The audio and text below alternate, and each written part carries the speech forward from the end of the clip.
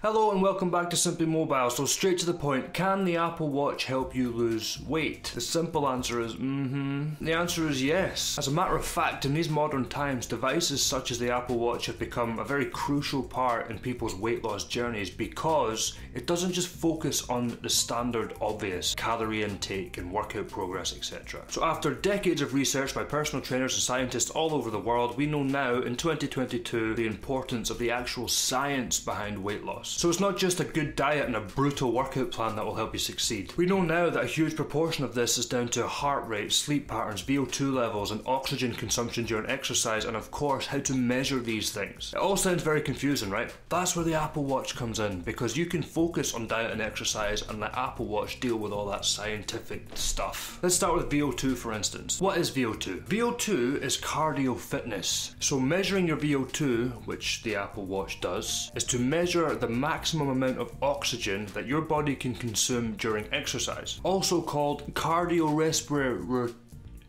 Cardiorespiratory. Spir- cardio one, two, there's a lot of there. Cardiorespiratory. Also called say cardiorespiratory fitness. That was really hard to say. This is a very important measurement for anyone, whether you're incredibly fit or managing illness. But why is it important for weight loss? So the higher your VO2 max is, then the faster and longer that you can work out for, resulting in more calories burned. Makes sense. So if you go into your health app, it will tell you for each age range what the high is. So for my age range, a high is 38 and if I was just above average, I would be 30 to 38. If I was below average, I would be 24 to 30, and if I was low, then I'd be 21 and worried. Now, heart rate is also very important when it comes to losing weight. Another thing that your Apple Watch can track is your heart rate. So, your heart is one of the most important things when it comes to fitness, especially if you're losing weight. The thing about your heart is your heart is your friend you know? It's like your fat burning guardian angel. It's your most effective fat burning tool, but it has got some basic rules. Treat it with respect, man. Treat people how you want to be treated. Keep that little pumper healthy, it will help you out. So, how does it help you lose weight? Your heart is a muscle constantly contracting. So the harder you exercise, then the harder that muscle is working, which means it needs more fuel. Your body basically gets shocked and afraid for its life. Your body's basically saying, This is too much, this is too much. So in sheer panic, your body goes into like survival mode and it starts to think that the basic sugars and carbohydrates within your diet is not going to be enough energy to sustain this kind of intense movement. So what it does instead is it taps into your fat stores and withdraws its energy from your fat stores instead. Now, your fat stores within your body are the same as fuel tanks. The more you use, the less you'll have left. So, the more fat you use as energy, eventually that fat's going to run out. So, of course, this leads to fat loss. So, with the Apple Watch, again, you can track and monitor your heart rate with great accuracy. You'll even get notifications if your watch picks up any irregularities in your heart rate. So, the whole point in intense cardiovascular workout is to get your heart rate as high as you possibly can so that your body is forced out of sheer panic to get that energy from your fat stores as opposed to the food that you are eating.